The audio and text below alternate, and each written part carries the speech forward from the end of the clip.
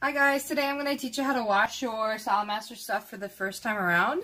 You'll need your sink um, stopped up with a little bit of hot water in there, so I'm going to fill my sink a little bit more.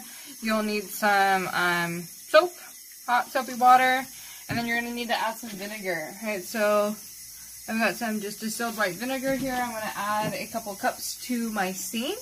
There should be one cup of vinegar per, per gallon of water in your sink. So I have about a three gallon sink, four gallon sink that I'll be filling up.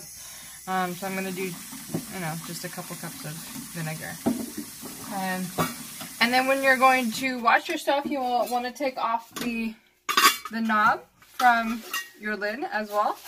And fully submerge everything into the water to soak for about five minutes before you wash, right? So like this one, it's going to be only partially submerged if it's, um, if I don't fill up my sink higher, higher or, you know, if your sink is small like mine is, you'll want to make sure it soaks on all sides for about five minutes, um, just so that it gets all the manufacturing residues off of your cookware before you start cooking them.